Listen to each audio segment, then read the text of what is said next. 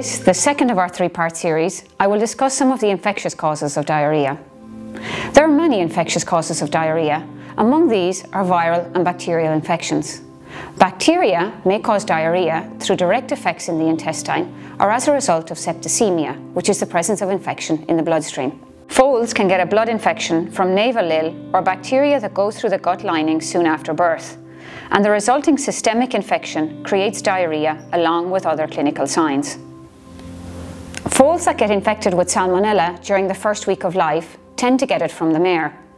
Up to 10% of adult horses have salmonella in the gastrointestinal tract and may pass organisms in their manure.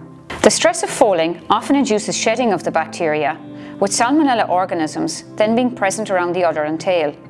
In these situations, wrapping the tail and cleaning the udder of the mare while making sure the foal gets good quality colostrum early can dramatically reduce the incidence of disease. Two strains of clostridial organisms have been shown to affect foals.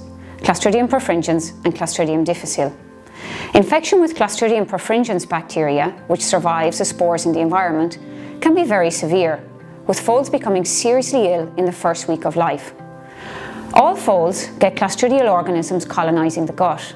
However, some strains of Clostridium perfringens produce toxins which cause gut damage which then allows these toxins and bacteria to enter into the bloodstream. Toxin-producing Clostridium difficile can cause diarrhoea in foals of any age.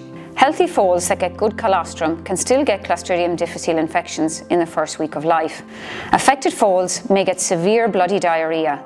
As this is a bacterium that may be present in the environment, it is an infection that is difficult to prevent. Toxin-producing E. coli can cause diarrhoea in foals, but it is not as common a cause of diarrhoea in foals as it is in calves.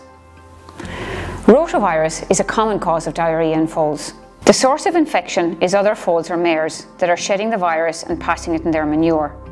If a foal ingests the virus, it can cause severe diarrhoea, but it's a more fluid-losing diarrhoea than the bloody diarrhoea you see with Salmonella or Clostridia.